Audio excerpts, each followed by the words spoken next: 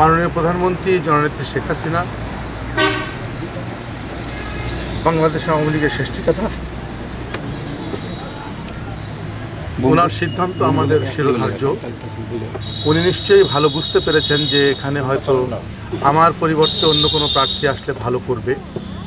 তাই উনি আমাদেরকে ডাক্তার মনসুর রহমানকে আওয়ামী লীগের প্রার্থী হিসাবে এখানে পাঠিয়েছেন। এখনও এটি সুরাহা হয় নাই, আবার শোনা যাচ্ছে। মহাজোটের একজন প্রার্থী এখানে রয়েছে। আমরা জানি না, যেটি হোক না কেন, আওয়ামী লীগের নেতৃত্বে, মাননীয় প্রধানমন্ত্রী জননেত্রী শেখ হাসিনার নেতৃত্বে মহাজোট। এই মহাজোটকে জয়ী করাই আমাদের মূল লক্ষ্য। আমি দশ বছর আমাদের এই নেতাকর্মী দিয়ে এখানে কাটিয়েছি।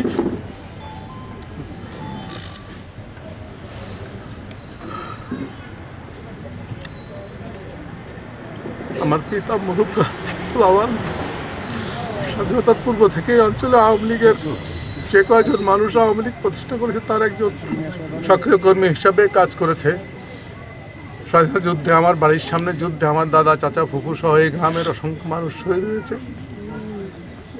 মানে প্রধানমন্ত্রী জননেত্রী শেখ হাসিনা দুই হাজার আট সালে আমাকে স্নেহ করে এই আসনে মনোনয়ন দিয়ে এমপি করেছিল। আমি চেষ্টা করেছি সত্তার সাথে, নিষ্ঠার সাথে কাজ করা। আওয়ামী লীগকে সুসংগঠিত করা, আওয়ামী লীগের মানুষকে একত্রিত করে তাদেরকে, তাদের দেখভাল করা, এলাকার উন্নয়ন করা। আপনারা জানেন এই অঞ্চলটি বিএনপি অধ্যুষিত, জামাত বিএনপি অধ্যুষিত একটি এলাকা ছিল।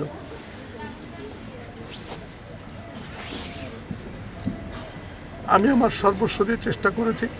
জানি না কোথায় আমার ভুল। মায়ের প্রধানমন্ত্রী আমার মায়ের মতো, আমার বোনের মতো চিন্তা করেছেন। আমাকে বলেছেন, কাজ করতে, আমি আওয়ামী লীগের কাজ করব। সেই দৃঢ় প্রত্যয় নিয়ে আমি এসেছি। যারা আওয়ামী লীগকে নিয়ে ষড়যন্ত্র করেছে, যারা ষড়যন্ত্রের জালে আওয়ামী লীগকে ধ্বংস করতে চেয়েছে, তারা এখনও ষড়যন্ত্রে লিপ্ত আছে। আপনারা সকলে আমার নেতাকর্মীর প্রতি অনুরোধ করব, এই ষড়যন্ত্র থেকে সাবধান থাকবেন। কোনোভাবেই যেন তাদের এই ষড়যন্ত্রের জালে আমরা ধরা না পড়ি, আর যেন ধরা না পড়ি, যে সর্বনাশ। আপাতত আমার হয়েছে বলে মনে হচ্ছে এটি কোনো সর্বনাশ নয়। মূল সর্ব মূল সর্বনাশ হবে যদি কোনো কারণে আমরা সেই ষড়যন্ত্রে যারা ধরা পড়ে, আসনটিকে আমাদের ধরে রাখতে না পারি।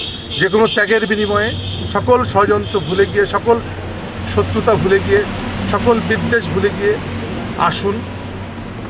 একে অপরের সাথে কাঁধে কাঁধ মিলিয়ে আওয়ামী লীগকে জয়ী করার আপ্রাণ চেষ্টা করি।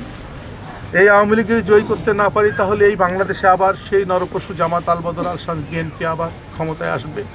ক্ষমতায় আসলে কি হবে, সেটা আমরা জানি। দুই হাজার এক থেকে ছয়ের ইতিহাস জানি। আমার চাচা শহীদ হতে যে বেঁচে গেছে, আমার ভাইকে মেরেছে, আমার বয়স্ক বাবাকে এই জামাত বিএনপি আল বদল আসাম রাজাকাররা ধরে পিটিয়েছে। আমাদের বাড়িঘর তছনছ করেছে, গ্রামকে গ্রাম জ্বালিয়ে দিয়েছে।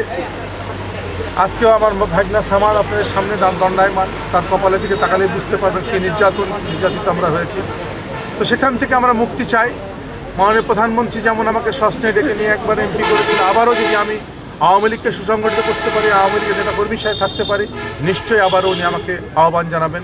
যদি আহ্বান নাও জানায় কোনো সমস্যা নেই, আমরা আওয়ামী লীগকে জয়ী করতে চাই। আওয়ামী লীগের ঝান্ডা নৌকাকে আমরা বিজয়ী করতে চাই। এই নৌকা বঙ্গবন্ধুর নৌকা এই নৌকা বাংলাদেশের জনগণের নৌকা এই নৌকা আমাদের জনদরদী নেতা, আমাদের নেতা মাননীয় প্রধানমন্ত্রী জননেত্রী শেখ হাসিনার নৌকা।